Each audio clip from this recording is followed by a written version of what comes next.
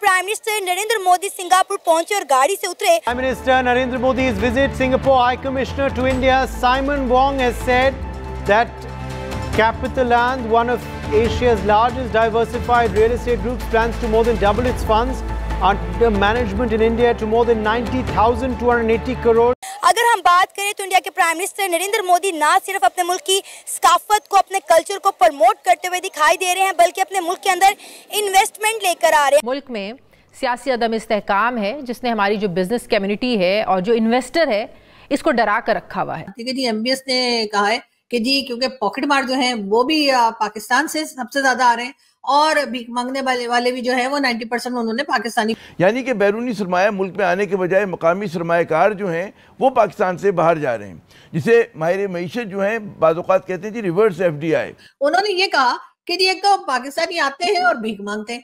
अहम तरीन खबर देंगे I M F executive board के सितंबर में मजीद इजलासों का कैलेंडर जारी कर दिया गया है जिसके मुताबिक 9 और 13 सितंबर को भी इजलासों में पाकिस्तान के साथ सात अरब डॉलर कर्ज के लिए होने वाले स्टाफ लेवल माहे की मंजूरी शामिल नहीं है। तो इसलिए उन्होंने कहा कि जी पहली बात तो ये कि पाकिस्तानी जो है पाकिस्तान जो है वो ये भिखारी जो है वो हमारे यहाँ भेजना बंद करे। कोई हमें कर्जा नहीं दे रहा ना ही असासे खरीदने को तैयार है। किस तरीके से उन्होंने अवाम को डिलीवर किया? अपने मुल्क के लिए ज़र मुबादला ला रहे हैं।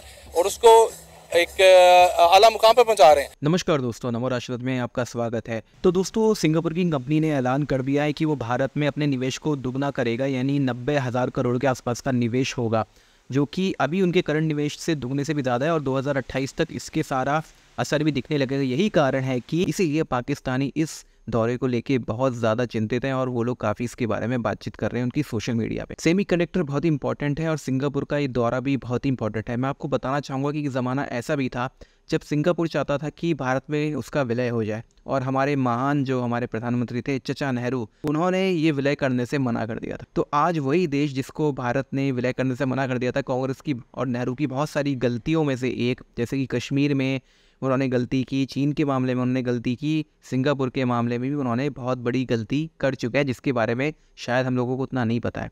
आपको पता था या नहीं पता था कि सिंगापुर भारत में विलय करना चाहता था और नेहरू ने मना कर दिया? अगर आपको इसके बारे में कुछ भी पता है तो कमेंट बॉक्स में ज़रूर शेयर करें। वीडियो अच्छा लगे तो लाइक करें शेयर करें। चैनल को सब्सक्राइब करना ना भूलें। आइए आगे बढ़ते हैं इस वीडियो में।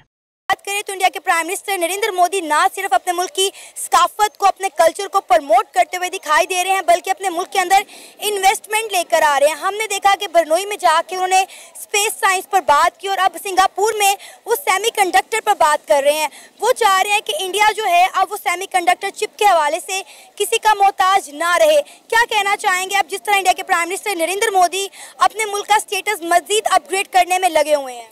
देखें अगर मैं अनबाइस होकर बात करूँ तो डेफिनेटली नरेंद्र मोदी सिर्फ़ इसलिए वोट नहीं हासिल कर रहे to the Hindutva thing he is delivering to the people लोगों के पास बेंगलुरु जब आईटी हब बना दैट वाज हिम देन उसके बाद अब वो सेमी कंडक्टर चिप एप्पल का वहाँ पे बकायदा मैन्युफैक्चर हो रहा है। इसका रीज़न ये है कि जब तक आवाम को डिलीवर नहीं होगा, आपको वोट नहीं मिलेंगे। वहाँ पे ये चीज़ थोड़ी है जो हमारे यहाँ धांधली के बाद चलते हैं।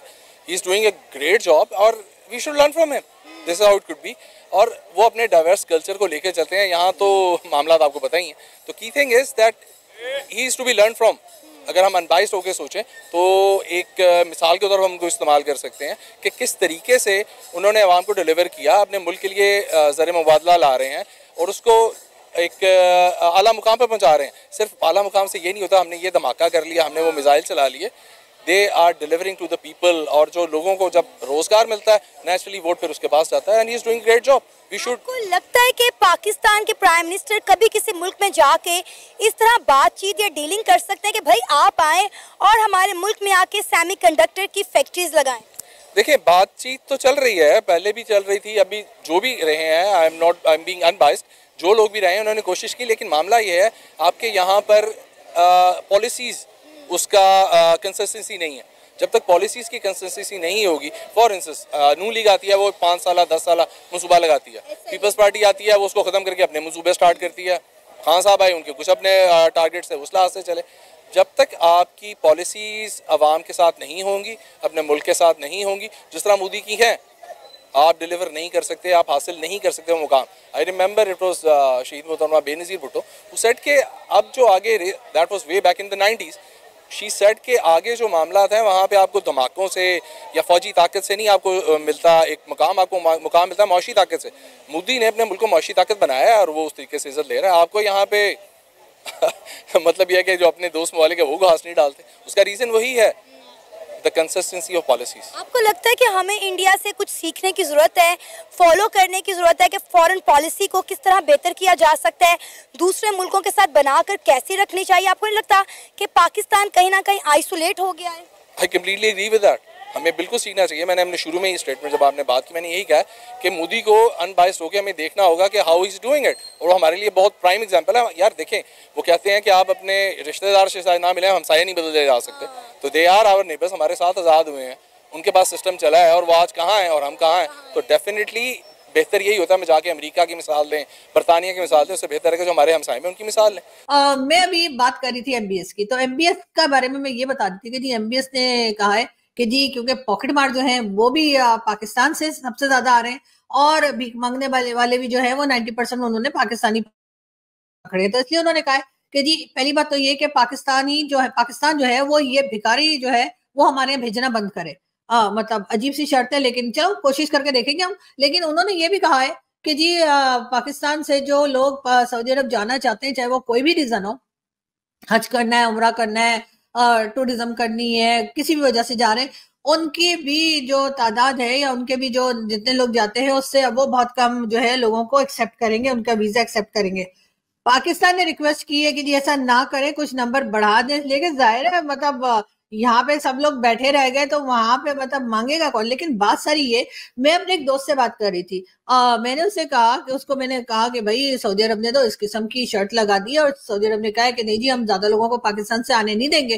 तो जी और साथ ही पाकिस्तान ने रिक्वेस्ट की है तो वो उस रिक्वेस्ट को भी उन्होंने रिजेक्ट कर दिया तो वो कहने लगा वाह वाह प्राइम मिनिस्टर जाते हैं प्रेसिडेंट जाते हैं और वो भाई लोग जाते हैं वो भी तो भीख मांगने ही जाते हैं, उनको तो आने देते हैं कि आ जाइए आ जाइए, वाह वाह, अभी भी आइया आइया करके बिठा लेते हैं और खजूर वजूर खिला के रवाना कर देते हैं। लेकिन अगर कोई आम आदमी बेचारा जरूरतमंद है, वो इतनी मेहनत करके, इतनी इतनी मुश्किलों से टिकट के पैसे जोड़कर, आपको पता है कितना महँगा टिकट है? इतनी मेहनत से टिकट का पैसा जोड़कर अगर वहाँ जाके थोड़ा पैसा मांग लेता है तो बड़ा इनको ऑब्जेक्शन है कि नहीं, ऐसा नहीं होना चाहिए।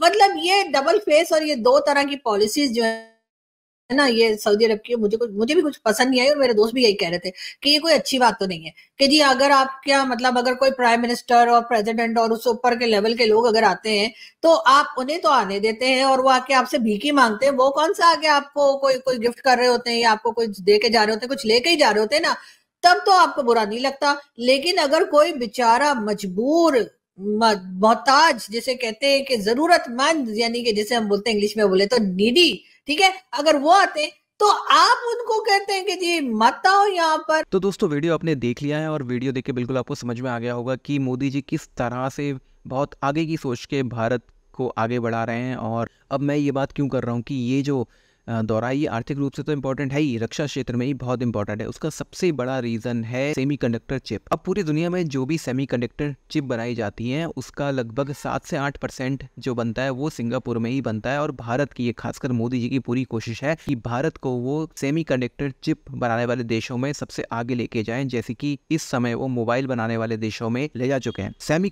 बहुत ही इंपॉर्टेंट पार्ट है। क्योंकि हम देखते हैं कि इसके वजह से बहुत सारे इलेक्ट्रॉनिक चीज़ें नहीं बन, की आर्थिक क्षेत्र में ही नहीं, बल्कि रक्षा क्षेत्र में भी आत्मनिर्भरता हो, हम हर तरह से आगे बढ़े, इसके लिए वो पूरी कोशिश कर रहे हैं। और इसलिए हमारा इसलिए हमारा भी ये कर्तव्य है कि हम उनका हर तरह से सपोर्ट करें। और सिंगापुर दौरे के बारे में आप क्या सोचते हैं? आप कमेंट बॉक्स में अपने विचार ज़रूर शेयर करें। वीडियो आपको अच्छा लगा हो तो लाइक करें, शेयर करें, चैनल को सब्सक्राइब करना ना भूलें।